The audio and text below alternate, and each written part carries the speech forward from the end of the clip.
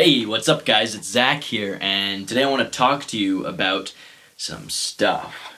If you're still following this channel, you might have noticed over the past month that I've been posting a lot of content.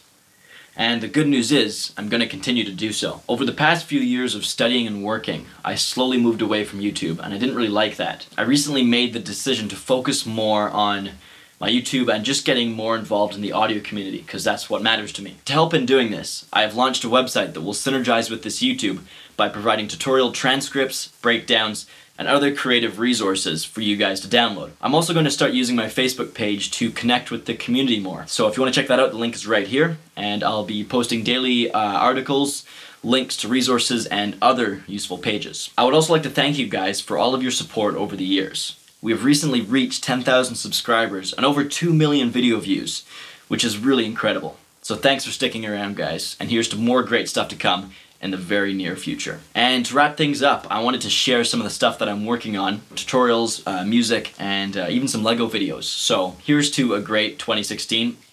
Check it out. Lots of stuff to come.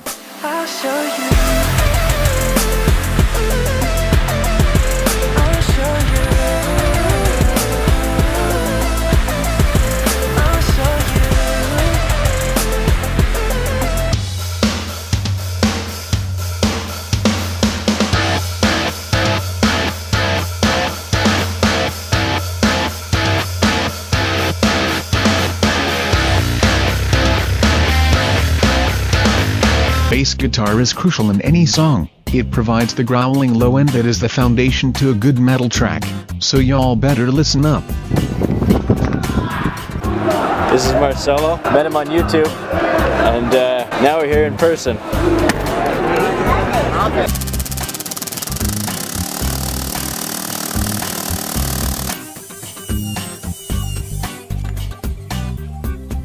This is Moff tuning the guitar.